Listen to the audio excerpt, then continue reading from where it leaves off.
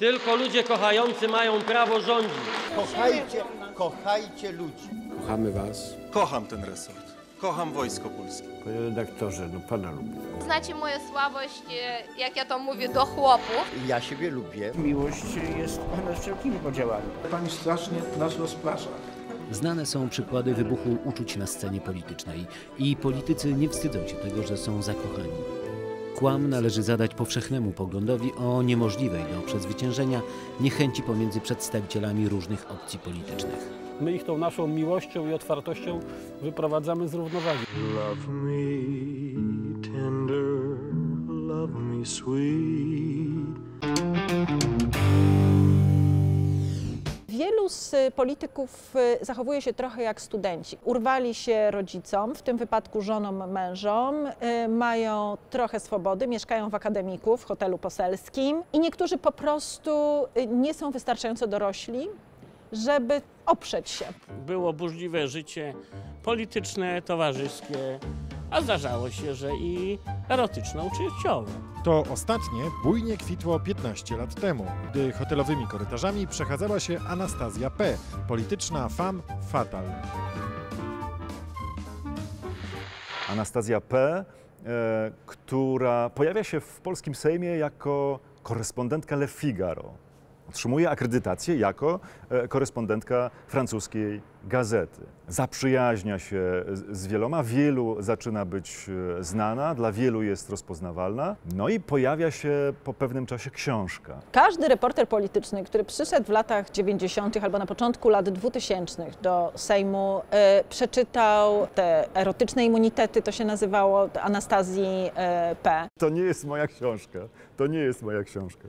To nie jest moja książka. Ja byłem wtedy e, nastolatkiem, kiedy wybuchła ta afera. Z taką pewną nieśmiałością e, i z upiekami na twarzy wszyscy na to patrzyli. W tamtym czasie y, musiała być dla wielu dużym wydarzeniem, z wieloma szczegółami dotyczącymi rzekomych spotkań Anastazji P. z polskimi politykami. Bo bardzo wiele z tego, co e, Anastazja P. napisała, było po prostu taką korytarzową plotką, taką naprawdę szytą turbo grubymi nićmi. Kiedy na przykład y, Anastazja P. opisuje swoje rzekome spotkania z Leszkiem e, Millerem, e, pisze tak.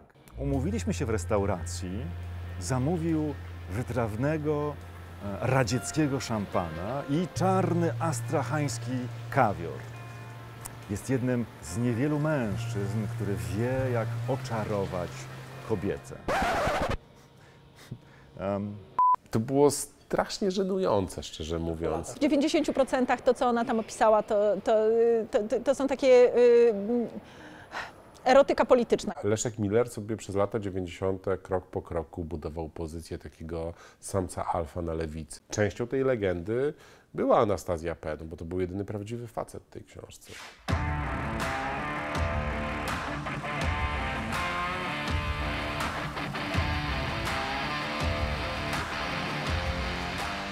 I to taki na miarę naszych czasów, tak? No bo on kupował takiego kawior i szampana, ale taki, taki osiągalny. To nie był jakiś whiskaczyk w kieliszku, tak? Myślę, że dzisiaj podpowiedź kup e, radzieckiego wytrawnego szampana i czarny astrachański kawior, żeby zaimponować kobiecie. No, życzę powodzenia każdemu mężczyźnie, który pójdzie tą samą drogą. To była taka seks afera, w której właśnie myśmy nie mieli prezydenta Kennedy'ego i Marilyn Monroe, tylko mieliśmy Anastazję P. i, i, i, i, i Leszka Millera. Anastazja P., publikując swoje parlamentarne, erotyczne wspomnienia, poświęciła politykowi lewicy całkiem spory i pozytywny rozdział. Napisanie takiej książki dzisiaj jest po prostu niemożliwe. Dzisiaj jest oczywiste, że, że to wszystko było, e, to, to wszystko skończyłoby się procesami sądowymi. To też jest taka y, metoda polityków, żeby niektórych spraw nie wałkować w, w sądzie, bo tak, bo trzeba będzie wezwać świadków i co, no będę udowadniał, że z panią nie spałem. To jest napisane w bardzo sprytny sposób. Jest wykorzystanych wiele szczegółów, które te historie uwiarygadniają. Są opisane miejsca, w których e, miało dochodzić do tych sytuacji. Zawsze zostaje, e, co, coś tam było, coś tam było, no jak on tak tutaj nie potrafi powiedzieć, gdzie on był 7 lat temu o 12.30, no to na pewno, na pewno był właśnie z tą panią. Taka wersalka, e, albo taka sofa, czy taki fotel, który znajduje się w tym czy innym pokoju, no to wszystko można e, po prostu zobaczyć na własne oczy, niezależnie od tego, czy jakaś sytuacja miała miejsce, czy nie miała e, miejsca. Ale Anastazja P. e, pojawia się później jeszcze z zupełnie innego powodu, bo próbuje jeszcze zaistnieć w świecie artystycznym. Zaczyna śpiewać. Historia polskiej muzyki rozrywkowej lat 90. to jest, to jest dosyć straszna sprawa i Oczy Stefana to jest coś, co się wpisuje w, ten, w tą straconą dekadę polskiej sceny. Kto wie, ten wie, o którego Stefana chodzi. Wystarczy posłuchać tej piosenki zresztą. Oczy Stefana jak czarna kawa, włosy Stefana płynąca lawa, usta Stefana kwiecisty pąk. Ach, zabierz mnie, Stefan, daleko stąd. Masz pomysł, o jakiego Stefana mogło chodzić? Nie, być może chodzi o człowieka od, tam, od kaszanki. Nie mam zielonego pojęcia.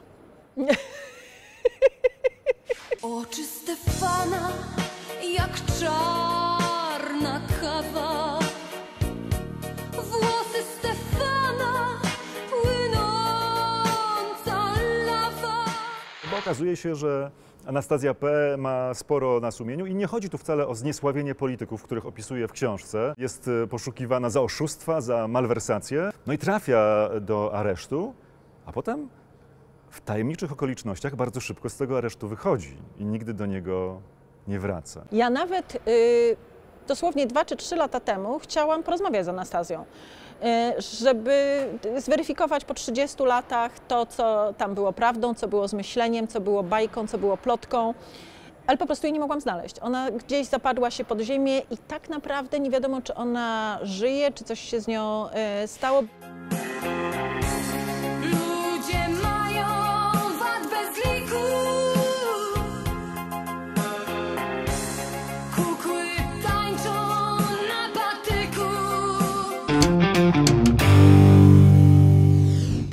Te szczęśliwe miłości, albo przez chwilę szczęśliwe, polityka mogą pogrążyć, mogą sprawić, że ktoś po prostu znika ze sceny politycznej, ktoś przestaje być przewodniczącym partii politycznej, bo pojechał na uroczy weekend e, świąteczny, mm, na mm, uroczą e, wyspę z uroczą e, partnerką. No tyle, że po tym uroczysku e, zostaje mm, spalona ziemia i e, nie ma do czego wracać. Tak było na przykład w przypadku Ryszarda Petru i Joanny Schmidt. Rzadko wyjazd wzbudza aż takie zainteresowanie. Wyjazd miał charakter prywatny, był finansowany z pieniędzy prywatnych. A zatem w zasadzie sprawy by nie było, a to jedyne zdjęcie z samolotu do Portugalii, dokąd w towarzystwie wiceprzewodniczącej partii leciał Ryszard Petru, byłoby mało ważne, gdyby nie to. To był ten moment, kiedy cała opozycja protestowała w Sejmie, kiedy okupowała salę plenarną Sejmu, kiedy wszyscy na zmianę tam siedzieli dniami i nocami. Lepszego 2011 roku. Siedzieli w tym Sejmie i pilnowali, żeby y, Prawo i Sprawiedliwość nie przeprowadziło tam jakiegoś głosowania, a ten wsiadł w samolot i poleciał sobie na Sylwestra. W związku z tym, że wyjazd miał charakter prywatny, nie uważam, że muszę dokładnie mówić, gdzie byłem na Sylwestra. Co to za zwierzę, co siedzi na maderze, orzeszki se chrupie i ma nas wszystkich, nie kończy fraszki Adam Bielan, dołączając do chóru prześmiewców. To nie miało absolutnie żadnego znaczenia, czy jest to związek romantyczny, czy jest to związek, czy o co tu chodzi. To jakby wyniknęło po drodze. Więc jego kariera polityczna nie skończyła się dlatego, że miał romans. Skończyła się dlatego, że zrobił po prostu straszliwą głupotę w polityce.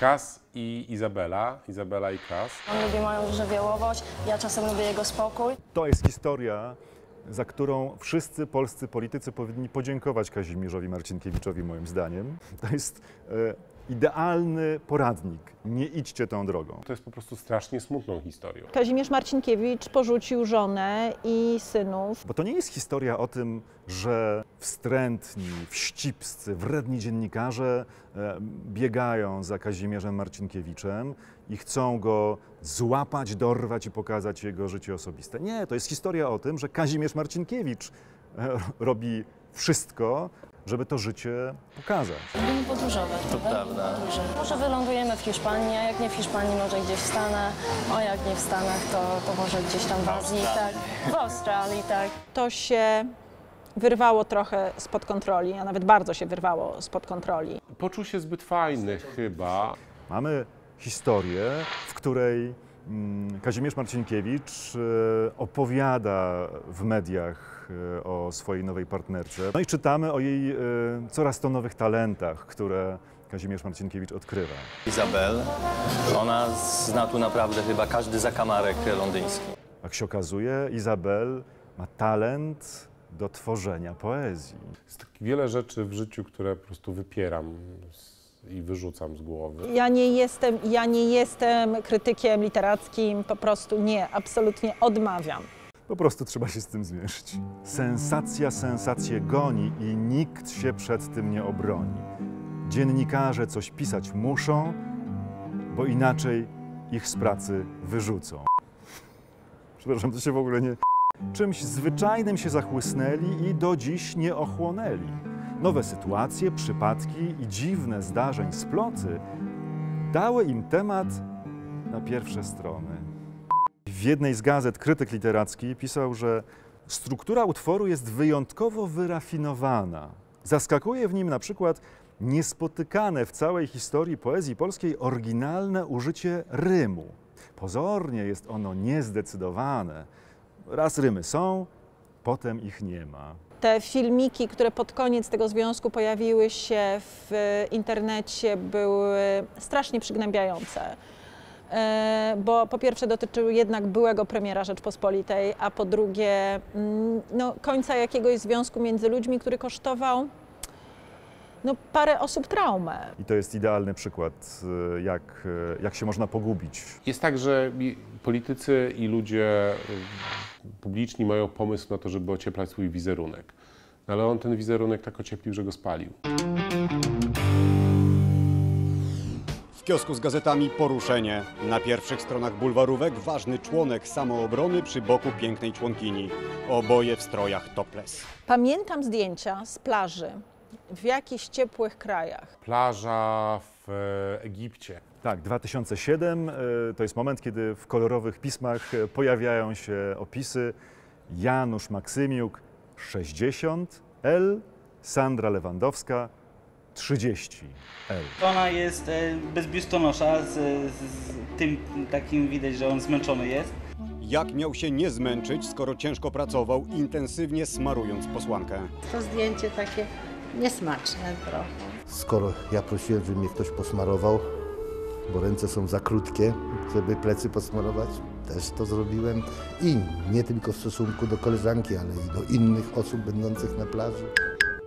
Trafiłem na pierwszą stronę faktu, na której pojawił się kiedyś taki poetycki opis tego, co wydarzyło się w Egipcie. Na plaży słońce szuka mężnego torsu Maksymiuka, a obok niego leży boska Sandra Lewandowska. Leżaki mieli biało-czerwone, by uczcić samoobronę. Nie chcieli spłoszyć tej chwili, więc wspólny wyjazd utajnili. No to była taka historia w ogóle, których wcześniej też w Polsce nie było, z takim, z tak odważnymi zdjęciami w ogóle. Poprosił mnie, żebym posmarowała mu plecy. No co w tym złego? Miałam pozwolić, żeby Ale- się spiekł ale na tylko czerwono. na zasadzie wzajemności. Posmarował mi również plecy, bo go o to poprosiłam. Poseł Maksymiuk, opowiadając o tym, co się wydarzyło, mówi tak, tak, tak, widziałem e, tego człowieka, który robił nam zdjęcie. Mówię, proszę pana, niech pan poczeka pod koniec, bo dzisiaj jest drugi dzień, nie jestem upalony. A kiedy e, jest pytany o to, no dobrze, ale e, pani poseł opalała się e, topless, bez e, biustonosza, mówi, no tak, no 80% kobiet opalało się tam e, topless i co? Miałem biegać i nakrywać je ręcznikiem? Innym Ja paniom zgorszona, też, tak, że bądź nie była pani wyjątkiem. Kilka miesięcy później był jeszcze jeden wspólny wyjazd Sandry Lewandowskiej i Janusza Maksymiuka do Egiptu. Było nurkowanie wspólne. Praw i, i no, oglądanie e, fauny, flory. I to wszystko pewnie byłoby takim żartem, ale pamiętajmy, że, że obok, tego, e, obok tej sceny jest jeszcze ważny kontekst, w którym to się wszystko odbywa, a rozmawiamy o czasach, w których e, samoobrona jest w centrum uwagi ze względu na seks aferę. A pani poseł Lewandowska była tą posłanką, która broniła liderów samoobrony do końca, która mówiła, że zeznania kobiet y, w aferze e, seksualnej w samoobronie to wszystko jest jakiś absurd, to wszystko są rzeczy wymyślone, wyssane z palca, że w samoobronie po prostu no, jest taka atmosfera, jest taki klimat, że panują ojcowskie uczucia. To nie są ojcowskie relacje. To nie są ojcowskie relacje i to jest, to jest zło. Nie widzę naprawdę w tym nic zdrożnego, to jest czysta złośliwość. Ja uważam, że wyciąganie swojego życia osobistego na zewnątrz e, niesie w sobie gigantyczne ryzyko dla tego życia osobistego. Tu naprawdę rozgrywają się dramaty. Możemy e, żartować z różnych sytuacji, możemy przyglądać się tym sytuacjom e, i opisywać z przymrużeniem oka, ale oczywiście pamiętamy, że, że to są często po prostu trudne historie. W, w sytuacji, kiedy mm, rozbita jest rodzina, albo mąż odchodzi od żony, żona odchodzi od męża, no zawsze jest ta e, druga osoba, która e, zmaga się z sytuacją. Myślę, że każdy z nas może dzisiaj znaleźć e, psalm żony niezłomnej w wierze, która wzywa swojego męża, żeby wrócił do domu. Mariusz, wracaj do domu. Mariusz, wracaj do domu. Ja ci wszystko wybaczam. Romans uderza w polityka konserwatywnego znacznie bardziej niż polityka liberalnego czy lewicowego z oczywistych powodów. Izabela Pęk opowiedziała o całym swoim związku ze Stanisławem Piętą. To też się stało publiczną historią y, romantyczną. Nie wiem, czy można użyć tego słowa, bo nie skończyła się ona jak komedia romantyczna z Karolakiem. Decyzję podjął sam Jarosław Kaczyński. Poseł Stanisław Pięta zawieszony w prawach członka partii i klubu PiS. Stanisław Pięta będzie także wycofany z prac Komisji Śledczej do spraw Amber Gold oraz Komisji do spraw służb specjalnych. Ale jak się widzi romans takiego polityka, to się myśli, nie no chłopie. Znaczy no, no nie, albo albo.